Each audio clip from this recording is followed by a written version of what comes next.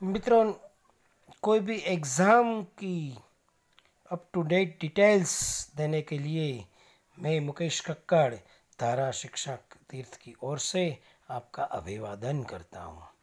इस चैनल के ज़रिए आप कोई भी एग्ज़ाम की कंप्लीट डिटेल्स पा सकते हैं अप टू डेट डिटेल्स पा सकते हैं तो सब्सक्राइब करना मत भूलिएगा। इस चैनल को सब्सक्राइब कीजिए और अपने फ्रेंड्स को शेयर कीजिए। नमस्कार दोस्तों, आप सबके लिए तो यही कहना होगा कि जिस घड़ी का मुझे था इंतज़ार, वो घड़ी आ गई। यस नीट ट्वेंटी ट्वेंटी की एग्ज़ाम को अब कुछ ही घंटे की देरी है। गुजरात के, बाहर के स्टूडेंट्स की डिमांड को ध्यान में रखते हुए आज मैं हिंदी और इंग्लिश में आपके साथ बात करना चाहता हूँ। एन टी ए ने, जो अभी आपके स्क्रीन पर आई है एन टी ए ने जो एडवाइजरी नोट पे भेजी है, उसमें उन्होंने कंफर्म किया है कि आपको नीट की एग्ज़ाम में what are the dos and what are the don'ts आपको क्या करना है और आपको क्या नहीं करना है। सबसे पहले तो आप सबने वो जो एडमिट कार्ड है, चार पेज का है। तो पूरे पूरा चार पेज चार पेज आपने डाउनलोड किए, कर लिए होंगे।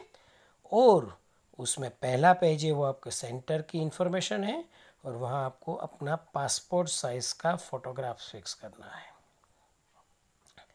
वहाँ नीचे पेरेंट्स की साइन, वो भी आपको करनी है, वो पेरेंट्स आपके पेरेंट्स को करने की है। और वो साइन आपके माता या पिता कोई भी कर सकता है।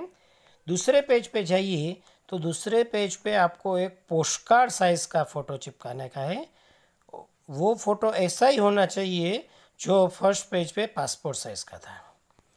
वहाँ एग्ज़ाम सेंटर पे जाने के बाद आपको वहाँ अपना थंब लगाना पड़ेगा और फ़ोटो ये फ़ोटोग्राफ है, उसमें लेफ़्ट साइड से स्टार्ट करके आधा पेज पे और आधा फोटोग्राफ पे आए, ऐसी साइन करनी है।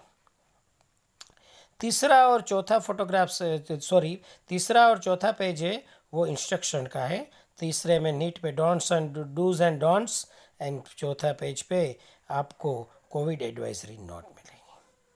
फ़र्स्ट पेज पे आप देखें तो एग्ज़ाम सेंटर, आपका पासपोर्ट के साइज़ के फ़ोटोग्राफ, इसके साथ वहाँ भी वो कोविड की आपको डिक्लेरेशन करनी है। यदि आपको कोविड नहीं है और आप किसी कोविड के पेशेंट के संपर्क में पिछले हफ़्ते में नहीं आए हैं तो आपको जो ऑप्शन सी है उसमें टिक करनी है।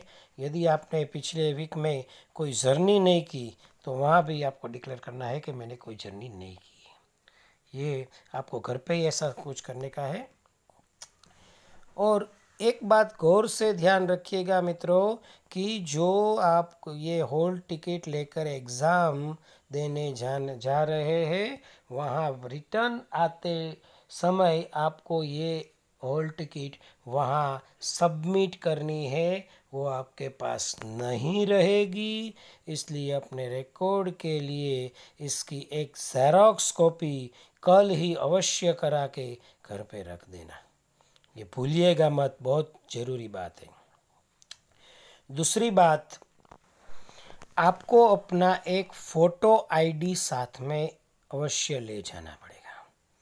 कई स्टूडेंट्स बोलते हैं कि, सर, टेंथ की मार्कशीट ले चलेगी? भैया, फ़ोटो आईडी या टेंथ की मार्कशीट में आपका फ़ोटो नहीं है।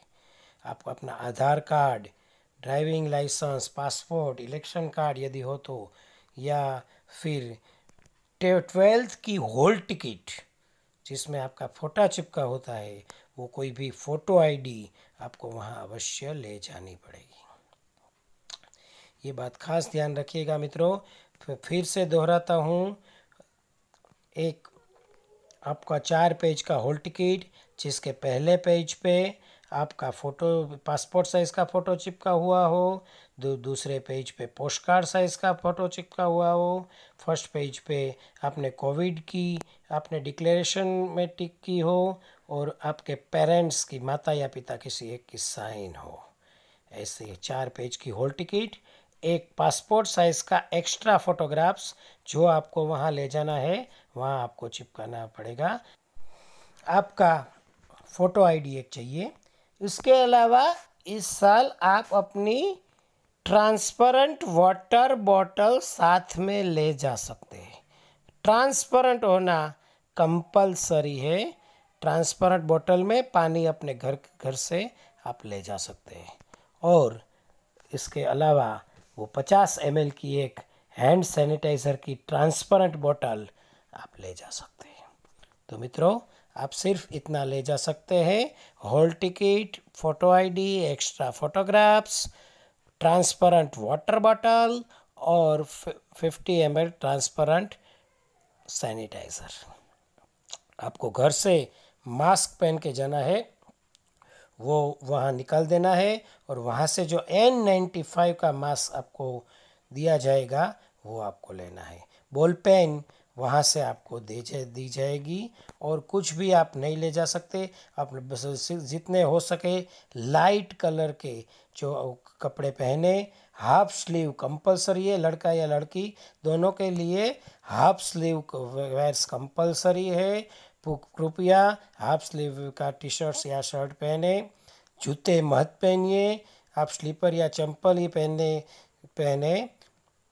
इसके अलावा कोई भी मेटल की चीज़ आप नहीं ले जा सकते लड़कियों के लिए। खास सुनिए, कोई भी ऑर्नामेंट्स आप साथ नहीं ले जा सकते। आपके स्क्रीन पे है वॉच तो नहीं ले जा सकता। आप पता है, मगर वो जो गोगल्स कैप बेल्ट ऐसा कुछ भी वॉलेट हैंड वॉलेट कोई भी ज्वेलरी कुछ भी आप वहाँ पहन के नहीं जा सकते, वो खास ध्यान रखिएगा। तो आपको कोई किसी की भी टाइप के कोई ऑर्नामेंट्स नहीं पहन जा सकते मेटल की कोई भी चीज़ अपने साथ में नहीं ले जा सकते। क्योंकि किसी भी एग्ज़ाम में मोबाइल फ़ोन कैलकुलेटर यानी डिजी कोई भी डिजिटल एपरेटस स्मार्ट वॉच वगैरह का तो बैन होता ही है, वो तो आपको पता ही है। मगर नीट की एग्ज़ाम में बेल्ट, सॉक्स, शूज़, वॉलेट और मेटल की कोई भी चीज़ पर भी बैन है, वो आप साथ में नहीं ले जा सकते।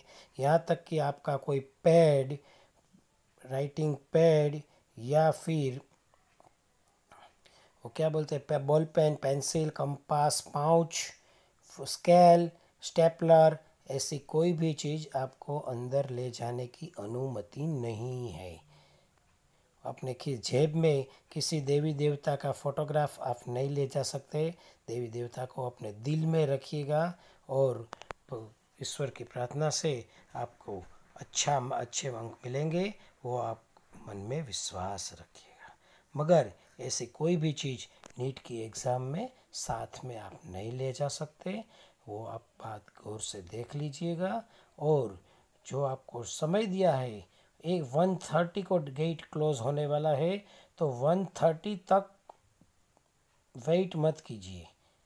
आप समय, आराम से समय सर पहुँच जाना वहाँ, और वहाँ का जो फॉर्मेलिटीज़ है, वहाँ से वो आराम से आप कर सके, इतना समय रखना। हो सके तो कल जाके सैटरडे को अगले दिन जाके वहाँ सब देख के आना। आपका कहाँ नंबर है? कौन सा एग्ज़ाम सेंटर है? वो क्या है? ज्ञान मंजरी विद्यापीठ। स्कूल है और ज्ञान श्री ज्ञान मंजरी विद्यापीठ। वो दोनों डिफरेंट स्कूल है। नंदकुअरबा महिला कॉलेज है। नंदकुअरबा स्कूल पे नहीं जाना है आपको। नंदकुअरबा कॉलेज पे जाना है। तो वो वो एग्जैक्ट वो एग्ज़ाम सिचुएशन वो कौन सा हॉल है, वो आप अगले दिन जाके वहाँ चेक करके आए। आप या आपके पेरेंट्स वहाँ जाके चेक करके आए तो आपको बहुत सुगमता रहेगी। इसलिए अगले दिन वो परीक्षा के अगले दिन सैटरडे को ये चेक कर लेना कि आपका एग्ज़ाम सेंटर कौन सा वाला है, कहाँ, कौन से ब्लॉक में आपको एग्ज़ाम देने की है। बहुत और कोई टेंशन नहीं है और कोई दिक्कत की बात नहीं है। बहुत आराम से टेंशन मिलेगी आप अपनी घड़ी साथ में नहीं ले जा सकते हैं। वहाँ एग्ज़ाम हॉल पे एनटीए ने घड़ी रखी हुई है आपके लिए। वहाँ से आप घड़ी में टाइम अवश्य आपको मिल जाएगा। आपको अपनी घड़ी साथ नहीं ले जा सकते। वो भी दे, एक और से ध्यान रखिएगा। तो ऐसी बात आपको क्या क्या ले जाने का है और क्या नहीं ले जाने का है? वो आपको सूचित करना मुझे अभी उचित लगा इसलिए मैंने आपको ये सब बात बताई है। आ, फिर भी आपको किसी भी बाबत का दिक्कत है कोई भी बात का दिक्कत है तो आप मुझे फ़ोन पर भी पूछ सकते हैं। को बहुत बहुत बधाई हो। Best of luck. Wish you all the